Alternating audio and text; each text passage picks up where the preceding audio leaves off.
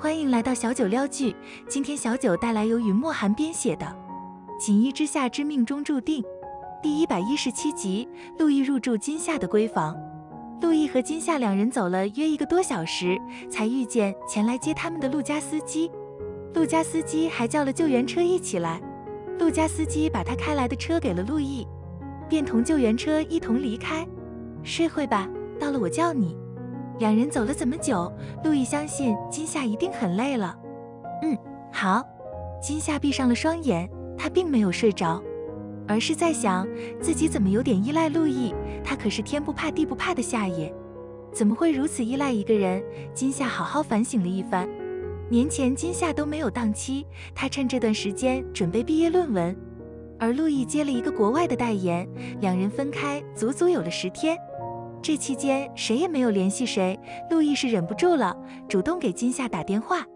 这边的金夏看到是陆毅的来电，第一时间接听。在国外怎么样？不怎么样。圣诞节快乐。金夏这才猛地想起，今天是圣诞节，这段时间他都为了论文的事忙碌，都忘了今夕是何夕。圣诞节快乐。你元旦时回老家？金夏沉默了好一会，才道回。嗯。就这么简短的几句话，双方就挂断了电话。挂了电话后，金夏觉得少了点什么，给陆毅发了条信息过去：“你什么时候回来？元旦后，到时候记得来接机。我可是给你买了个好礼物。”金夏对着手机屏幕傻笑：“真的假的？如果是假的，你是不是就不来接机了？那当然，没利可图，我去干嘛？你要是敢不来，我加你房租。行，你是老大。”年尾的最后一天，很多人都会刷屏欢送过去的这一年，迎接新的一年。许多人还在朋友圈里写下新年愿望。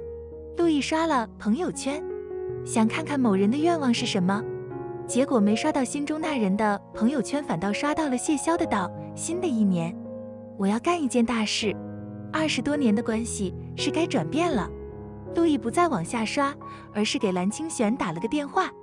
四川某县城，一间十多平米大的卧室里，手机叭叭的响着，床上的人睡得正香，他不想理会，伸手拉着被子将自己的头全部覆盖住。手机一直不停响着，金夏终究认输了，将手伸出被子外，也不看来电是谁，就接听。电话那端传来陆毅的声音道：“我在你家小区门口。”金夏瞬间从床上跳下来：“什么？你在我家小区门口？”对，金夏瞟了眼时间，某年一月一日零七到三十。少爷，能不开玩笑吗？我给你发了个定位，你自己看看。金夏急忙点开陆毅发来的信息，他傻眼了，陆毅真的就在他家小区门口。金夏来不及收拾自己，拿上一件大衣就出了门。正在做早餐的袁妈追到门口，你这么火急火燎干嘛去？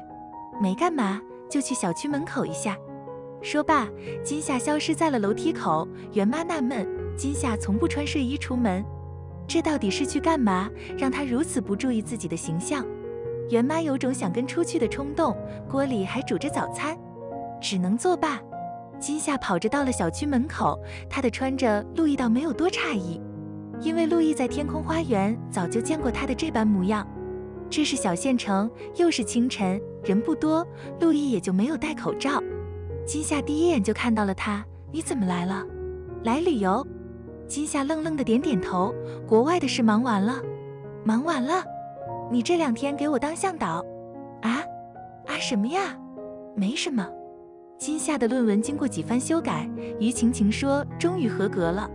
她现在哪也不想去，就想好好的在家窝几天。